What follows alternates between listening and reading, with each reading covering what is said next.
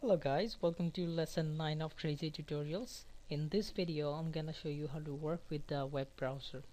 So let's go ahead and click on the new project and I'm gonna name this lesson 9. Okay, so here's uh, our form. Let me just stretch a little bit. Okay. Uh, for this project, uh, I'm gonna use a picture box as buttons. So let me just drag it. Okay after dragging just select the picture box and go to size property and make the width and height both to 30 alright uh, and also go up to the cursor property and make this a hand sign. Okay. Now uh, click on this little button and then choose image and import your desired image. Uh, for this uh, I'm gonna use uh, four image here. I'm gonna use the first one which is back.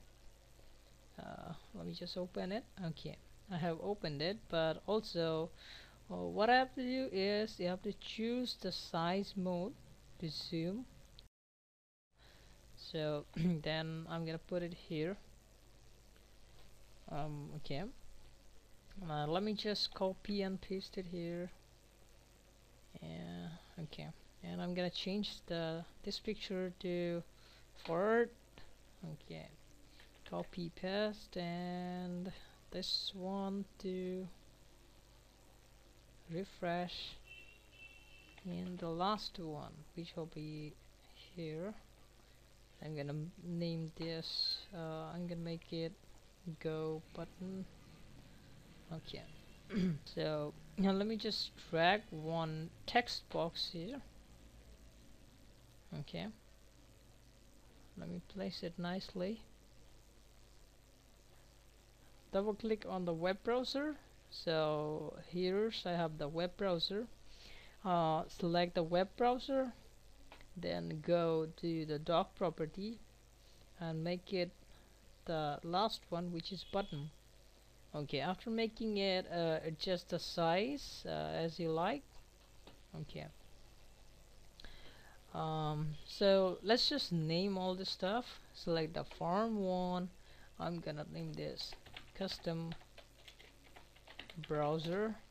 Select the first button which is kind of like back button or something. Go up to the name property and change the name to back underscore btn select the second one which is forward button forward underscore btn and the third one is refresh underscore btn and then the text box will be text underscore txt and go for the go button go underscore btn okay. Uh, I'm not gonna change the name of this web browser because it's it's web browser one is okay for now. Okay so let's just double click on the go button. Okay.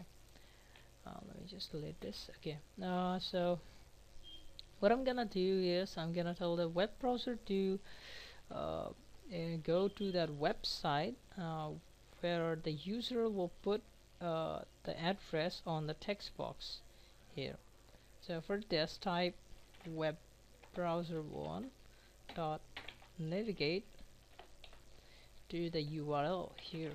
So here will be text underscore txt dot text. Uh, so whenever the user will put something uh, some address in here and press the go button it'll, mm, it'll the web browser will navigate to that URL okay. So it should work. So let's just debug it. Simple code. So uh, facebook.com maybe. Press go button. And yes so there we go. Facebook is here. Uh, so this is working. So let me just double click on the refresh button. Uh, so web browser 1 dot refresh. Whenever the user will click on this refresh button it will refresh the page of that web browser then double click on the forward button. This is also very easy. Web browser 1 dot go forward.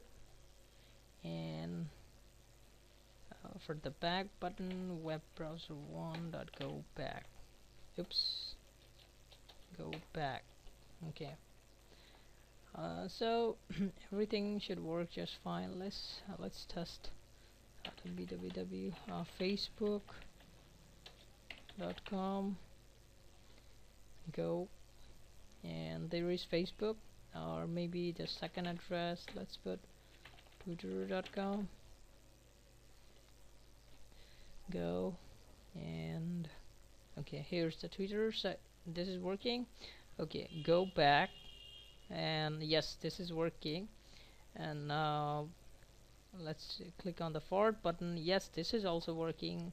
Click on the refresh button and there he is. There we go. So this is also working. Um, only one thing is not working. If you go back uh, this is Facebook but it's still in the text box. It says twitter.com so this is not uh, working right. So what I have to do is uh, um, just click on the web browser and then go to this events and double click on the navigated and here type text text underscore txt dot text equals web browser one dot url dot to string so that's mean whatever will be the URL of the web browser it will be put on the text box. After it's uh, the web browser will be nav navigated. So let's let's test uh, the last time. So facebook.com go. Um, okay and twitter.com go okay so this is th this is uh, if I go back yes this is working. The Facebook and here go forward Twitter. So yes this is working fine. So in this way you have to work with the web browser and also actually you can also uh, use web browser in a different way like uh, text box or something. Let me just give you an example just delete this. Uh, and for example uh, let me just drag one web browser here and oops it's already docked so go up uh, to the dock and make it none so you can see the web browser. Okay. Let me just add one button here. Okay. So there is web browser one so double click on the button and this is all. We don't need this because we have already deleted all those things. Okay like we can uh, we can use the web browser as text uh, uh, text box like um, if I type um, whenever the user will click on the button it'll say the web browser one dot uh, in a if you use text box uh, you type like web text box uh, dot text so here you have to type web browser one dot document text equals whatever in here. Uh, like please subscribe and comments like this and let's see um, click on oops yeah please subscribe and comments. Also um, you can add pictures in web browser with the button. Maybe let me just copy this and paste it real quick. Okay.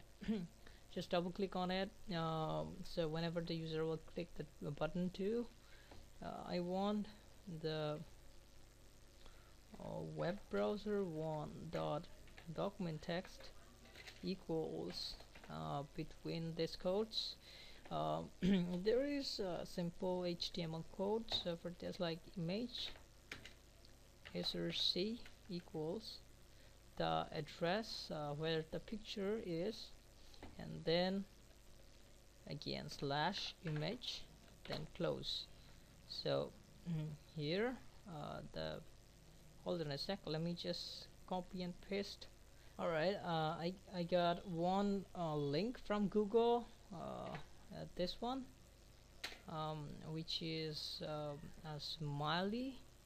So let's just test it out. Just click on uh, the debug and press the button too and there we go. The smiley is here. So yeah in this way you can work with the web browser. So I hope you like this tutorial. Um, please subscribe and comments. And I will see in the next tutorial. See ya guys